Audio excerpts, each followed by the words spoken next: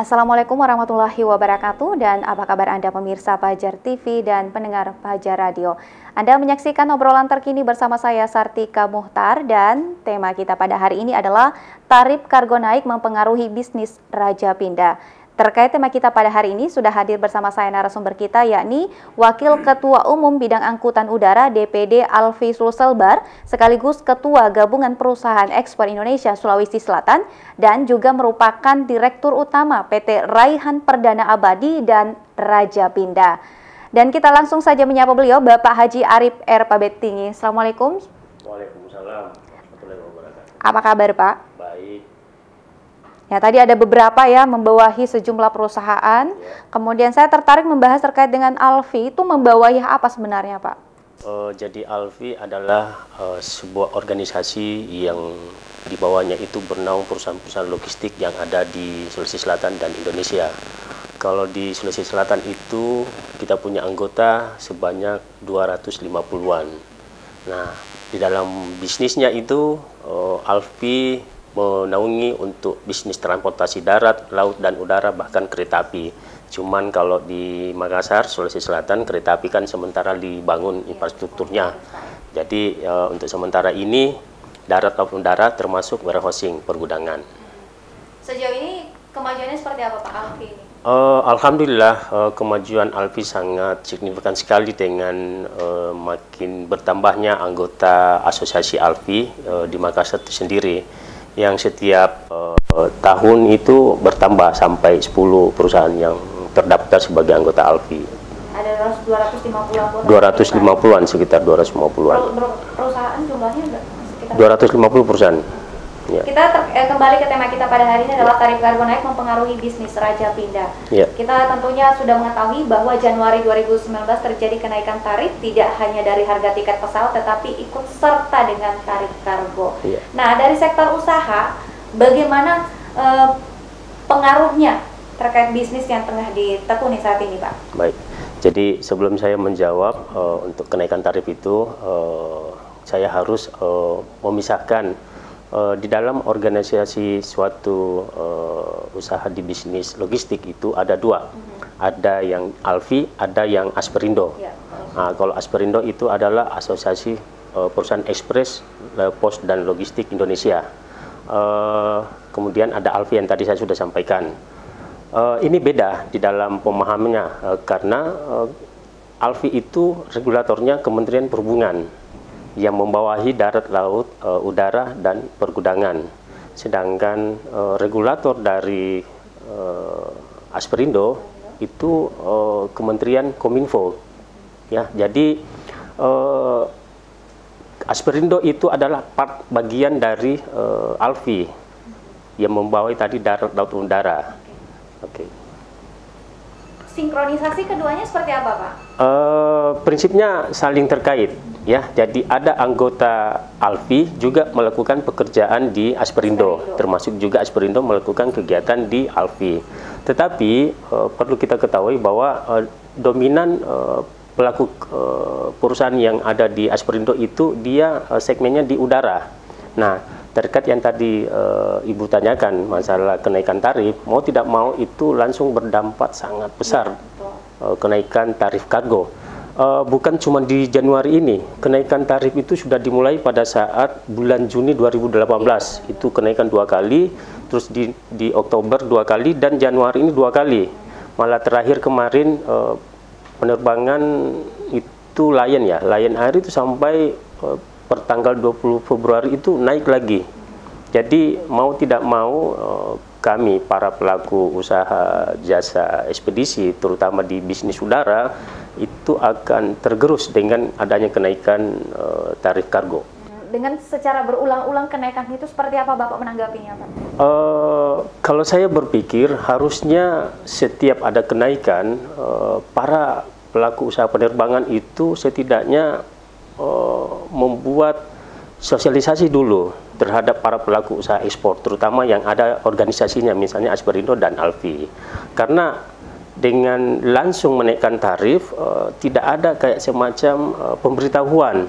Nah, per, nah tentu berdampak terhadap kami sebagai pelaku. yang notabene itu harus membuat ulang tarif. Ya. Uh, sesuai yang saya tahu bahwa uh, peraturan IATA itu tiap kenaikan perubahan tarif penerbangan itu minimal enam uh, bulan. Kalau ini kan tidak setiap Kali-kali ya sudah eh, ini sampai tujuh kali kenaikannya. Dari range waktu Juni, bulan Juni 2018 sampai hari ini. Januari yang paling nah, drastis Pak. drastis ya. Sampai uh, itu sebesar 300% dari tarif yang pertama. Jadi kalau pengaruhnya dalam bisnis yang ada saat ini seperti apa? Memang uh, terjadi karena ini siklusnya Pak ya. Ya jadi mau tidak mau dengan kenaikan tarif kargo ini kami yang sebagai pelaku usaha di bisnis terutama udara hmm. uh, harus mensiasati bagaimana uh, tarif yang diberlakukan oleh uh, penerbangan ini bisa masuk di harga yang kami jual ke masyarakat karena dampaknya ini ke masyarakat. Betul. Jadi uh, penerbangan melakukan uh, kenaikan tarif uh, memang kami sebagai uh, uh, apa ya sebagai penyambung saja untuk ke masyarakat. Penyedia jasa, nah, penyedia jasa untuk ke masyarakat. Nah ujung-ujungnya berdampak ke masyarakat. Uh, kami sering uh, dengar uh, slogan dari Presiden Pak Jokowi bahwa bagaimana uh, tarif logistik di Indonesia itu bisa turun. Ya, Uh, kalau kita berbicara logistik lebih luas lagi, uh, indeks performa logistik Indonesia itu dari tahun 2014 itu di urutan ke 57 Nah, kemudian uh, di 2016 turun di uh, urutan ke 51 dan 2018 ini indeks performa logistik Indonesia itu turun di urutan 44. Jadi ada perubahan yang bagus. Tetapi uh, terkait dengan kenaikan tarif kargo uh, yang saya bilang tadi seharusnya itu para uh, pelaku usaha penerbangan uh, minimal sebelum menaikkan tarif itu uh, dia harus duduk bareng dengan kita. Uh, kalau kenaikan tarif itu kan biasa terjadi, tetapi yang tidak biasa bagi kami, kenapa kenaikannya itu berkali-kali? Tidak ada yang kayak semacam enam bulan baru berubah lagi, enam bulan berubah lagi.